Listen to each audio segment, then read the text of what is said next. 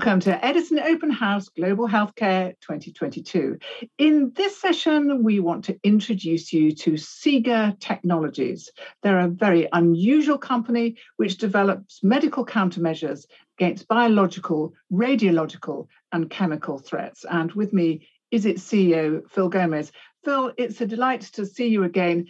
And you have this extraordinary company which has an asset, its principal asset, TPOXX, for a disease that actually currently nobody has. So explain it to us.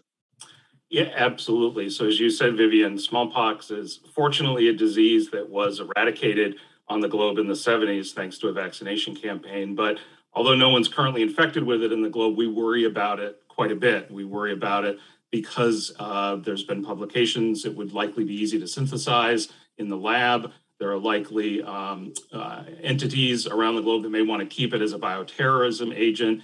And the challenges, since we haven't been immunizing, if there ever was an outbreak, there's been a variety of publications and models to show it would be devastating. It, it had a historical 30% fatality rate. It killed through over 300 million people in the last century, and it would spread very rapidly. So it's important, and the US government especially has supported us to develop this drug as a treatment for smallpox in case it reemerges uh, over time. So um, that's been a key partnership with us with the US government. As you said, we developed this drug, started selling it to the government in 2011.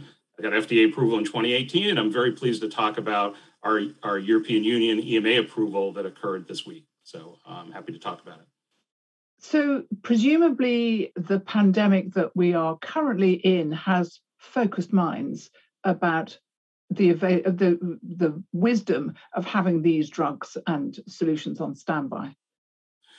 Absolutely. And, you know, there's been a couple interviews in which uh, Bill Gates, even before the pandemic, when asked what, what does he worry about globally that could disrupt economies and public health, he talked about pandemics, including what if smallpox reemerged. And I think what we've learned is um, a variety of things. One is uh, pandemics are not only public health emergencies, they're economic emergencies. There can be uh, dramatic uh, impact. And so the stakes have been made clear uh, globally as to what a pandemic can do. I think we've also learned about where we are with responses. Uh, smallpox was eradicated with a vaccination campaign, um, many of which required uh, mandates and high vaccination, and we haven't seen that with COVID. and what we have seen is the emergence of the importance of therapeutics. So in the US, um, the US government is procuring a large number, more than 5 million courses of an oral um, treatment drug for COVID, exactly because we need to have many tools in the toolbox to bring a pandemic under control. And that's illustrated why it's important to have drugs like ours available for something like an outbreak of smallpox. So there is also something called the 100 days strategy, which also helps uh, your company. Tell me a bit about that. Yeah, so um, it was developed uh, within the G7 and published, and in fact, the US Biden administration has also published in September a, a strategy for future pandemics. And what that talks about is one strategy is to look at viral families. So um, I happened to be at the National Institutes of Health when we developed a SARS vaccine.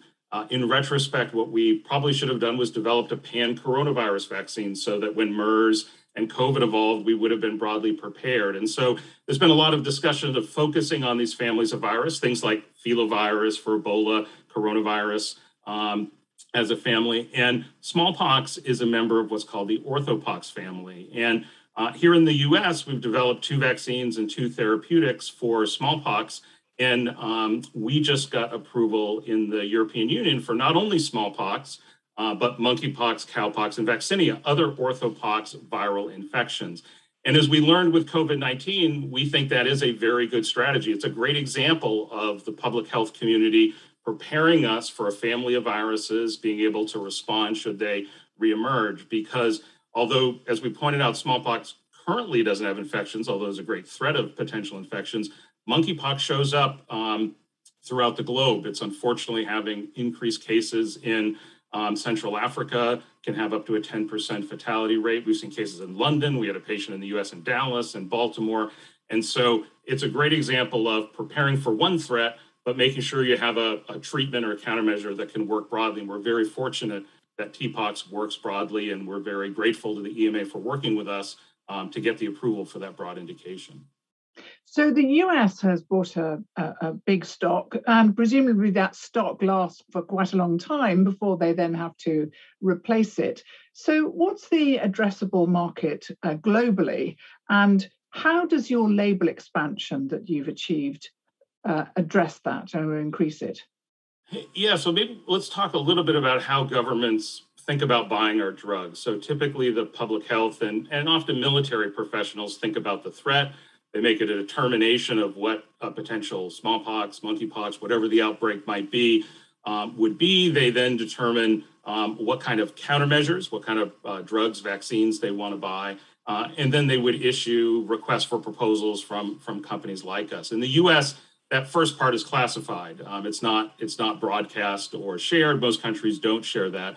Um, and then there's also a cut around budgets. There are a lot of threats out there. So people develop their annual budgets with their parliament or their Congress uh, and then issue those RFPs. So we see what comes out in the RFP. And as you point out, for the US government back in 2011, um, they issued a contract to us for 1.7 million courses. They also had contemplated up to 12 million courses as part of options associated with that discussion. But really, the 1.7 reflects that whole process, including what they could, so to speak, afford.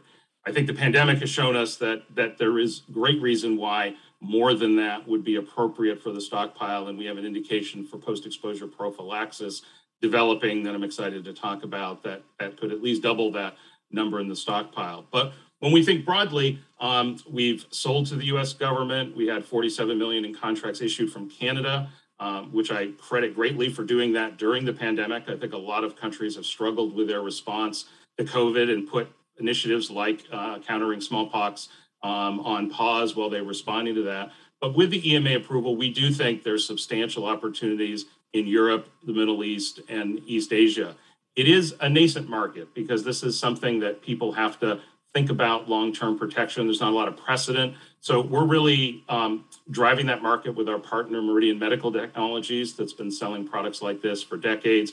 And we look forward to uh, building on what we've done in Canada in the US and using the EMA approval as a way to uh, work with our colleagues in Europe to, to, to, get the right solutions out there. Because even the WHO in their Variola meeting had, had uh, stated they would like to see stockpiles of smallpox antivirals. And so we think uh, those that lead global health know this is a big challenge, know these products need to be available. Um, and we're looking forward to, to working with people to stockpile them. And then to your last point around how does monkeypox change it, I think it it brings it from not only uh, a theoretical risk that's very important to a real risk that uh, unfortunately patients could show up at your doorstep in the UK, uh, in Germany, France, uh, wherever um, travel happens, and we all know that happens a lot. Uh, and so being prepared not only for the catastrophic smallpox event, but also another orthopox infection um, that could get uh, transmitted is critical for, for countries. There's still a lot of speculation about the exact source of the current uh, SARS CoV 2 pandemic, but there, part of it might be uh, escape from laboratory. And it's not a fanciful thing to say escape from the laboratory for smallpox because there are some stocks of smallpox uh, around the world. So that's not uh, science fiction. Yeah, so we often talk about with with smallpox, it could be a, a an accidental release, and you know, there were vials a few years back found in the NIH uh, that were of virus that had been stored away long, long ago. There was a there was a bit of a scare at the end of last year. Some vials labeled smallpox were at a uh, pharmaceutical factory in near Philadelphia. It turned out they weren't smallpox; they were actually vaccinia virus the vaccine used in the vaccine. Um, but you never know. And there are active programs both at the US CDC and in Russia to maintain the variola virus. And there used to be a lot of debate about should those stocks be destroyed, but with the advent of DNA synthesis, even if they were destroyed, you could synthesize and create it again. So, accidental release, whether it's one of those labs or someone more purposefully um, trying to develop and accidentally releasing it even before they did, is is a real threat. Yeah, so it's not a you know we're not talking conspiracy theories. This is uh, or, or, film scripts. This is, you know, real and genuine threat that actually people are really alive to now. Thinking about the next six to 12 months, Phil, what should investors look out for? Um, so first, uh, our continued partnership with the U.S. government. Um, we continue to get orders. We got orders last year and, and, getting those deliveries, which drive the bulk of our revenue and, and the future options coming down the pike. Um, we applied for approval of our intravenous formulation. So for those that couldn't swallow a pill, we applied last year. Um, we anticipate approval this year, and we do have uh, active um, orders for that product that, that will start delivery um, to the U.S. government. Um, we also have a post-exposure prophylaxis program, as I mentioned. What that is is if you were potentially exposed but you haven't yet tested positive for smallpox, there's a lot of reasons why you'd want to be able to take our drug for immediate protection, but also get a vaccine for longer term protection. And that would be a great way to mitigate an outbreak to give a vaccine, give our drug. And if you were infected or not, it's a one stop intervention. And so we're doing a clinical study to show we do not reduce the immunogenicity of the smallpox vaccine. That'll start this year, and we expect immunogenicity data. And with that program, um, in our discussions with FDA, we've described we would want to treat for 28 days instead of 14 days. So that would require essentially twice as much drug in the stockpile to maintain. So um, that's an important program for us to be able to expand our label. Um, we also are looking at other international sales with the EMA approval. And finally, um, probably a little longer term than six to 12 months, but we are in discussions to transition to our next contract with the government to be able to resupply. And we anticipate that'll be a more steady year by year contract. The current contract we have is lumpy. There are four options over seven years, so it ends up being lumpy in the revenue. But we've got a lot of exciting things going on at the company and looking forward to updating uh, our shareholders and investors on those in the coming 12 months. Phil, it's always fascinating talking to you.